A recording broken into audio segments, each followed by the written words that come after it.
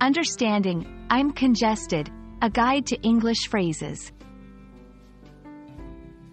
Hello, everyone. Welcome to our English language learning series. Today, we're going to explore the meaning and use of a common English phrase, I'm congested.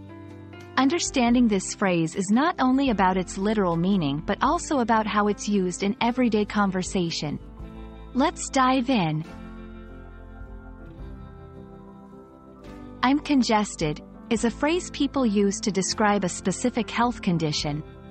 It means that the person's nasal passages are blocked or clogged, usually due to a cold, allergy, or sinus problem.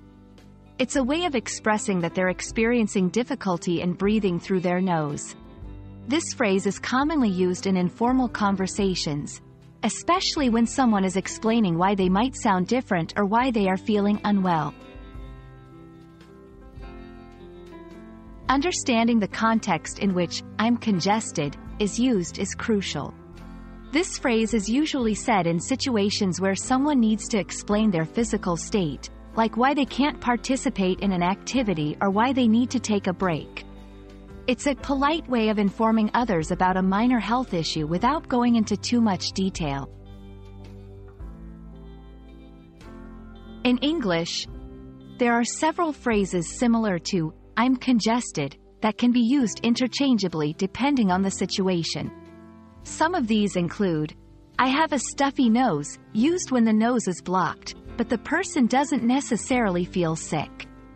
I'm feeling under the weather, a general way to say one is not feeling well.